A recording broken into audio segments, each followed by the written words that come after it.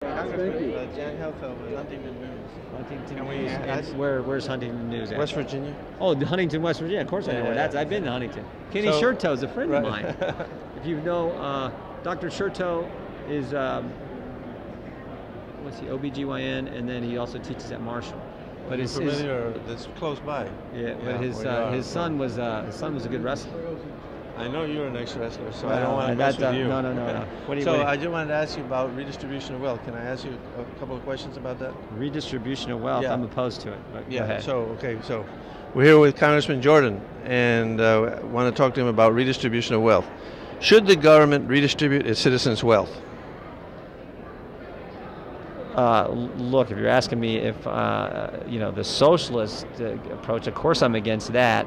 Um, we're for free markets and for limited limited government, limited taxation. That's what a conservative is. So that's what I believe in, not in government, as Mr. Sanders has said, taxing people to some unbelievable level, taking their money and, and, and redis- redistributing uh, in, in a redistribution fashion, uh, moving it around. So of course we're opposed to that. So are, are you against subsidies, farm subsidies? Uh, I've actually I get attacked all the time because I'm against the renewable fuel standard and the uh, and the um, so the corn growers do a ad against me every uh, or a mail piece against me every every week because of the uh, I think we should do away with that. Government shouldn't be picking winners and losers. Government shouldn't be um, having the export import bank, which big big corporations cozy up to big government and get a special deal.